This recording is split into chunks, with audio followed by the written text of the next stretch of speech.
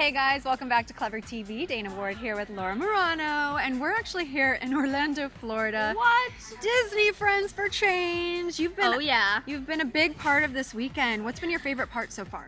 Um, I just we're at the Disney's uh, Friends for Change Youth Summit, and I just saw Craig uh, Kielburger talk, and I'm I'm changed for life. That guy is amazing.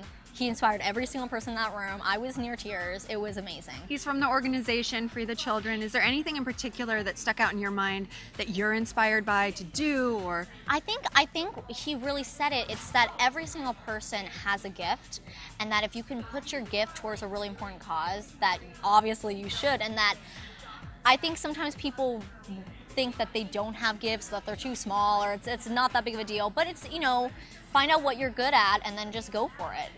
And I feel like it can also be really, really fun. It's Yeah. not a serious thing. Yes, I totally agree. And you know, it's you can always like grab friends and you know have mm-hmm. the best day ever. You make friends on you know different projects. It's it's it's actually a very friendly experience. Yeah, give us an insider view of like what's happening in here. What have you experienced this weekend? I've just met so many kids. Today, there's nearly like 100 kids from around the world who've done so many important projects, you know, whether it's the environment. I met one girl who does theater for special needs kids. I mean, it's like they're all just about helping communities, helping the planet, helping different people. It's it's inspiring to me. It's kind of crazy that they're excited to see, you know, the Disney Channel kids. I'm really excited to see them. They're so awesome.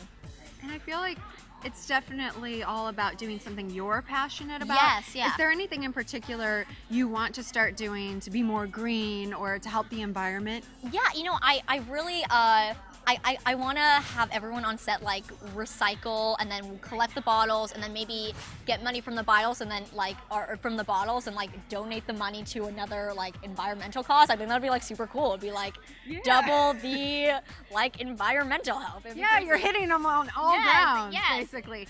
Is there anything your character you think could do better in this world to help the environment, or she's already doing really well on Ally and Austin? I think Austin and Ally, I think Ally uh, is since she is a very strict uh, rule maker or and also follower.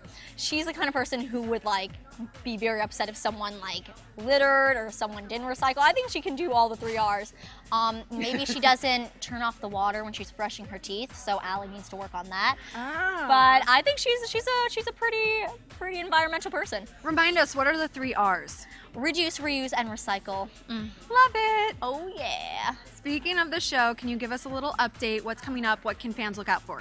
Well, there's going to be more animals, of course, and then um, the Who Done It weekend is coming soon, and it's going to be a little dramatic. Uh, Austin got framed for stealing, so we'll see what happens. Uh-oh. There's a thief. and what kind of animals?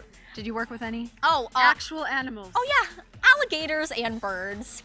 What, what was it like? Any funny happenings? Um, so, so we had a baby alligator. We had a baby alligator, so super cute.